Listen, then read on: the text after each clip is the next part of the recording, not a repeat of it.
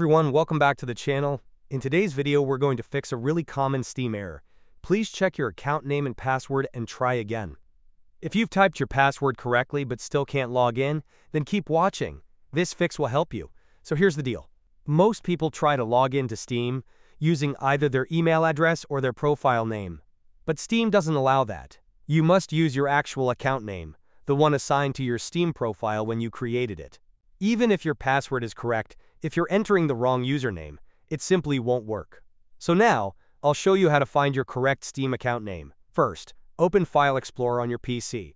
Go to your C drive, that's usually your main drive, then open the folder called Program Files, x86. From here, scroll down and open the Steam folder.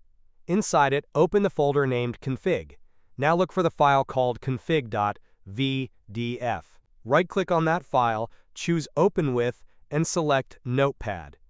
Once you've opened the file in Notepad, press Ctrl plus F to bring up the Find box. Type in the word Account. Then click Find Next, and it will take you directly to the section where your account names are stored. Look for the line that says Account Name. Next to that, you'll see your actual login name. Now open the Steam login window.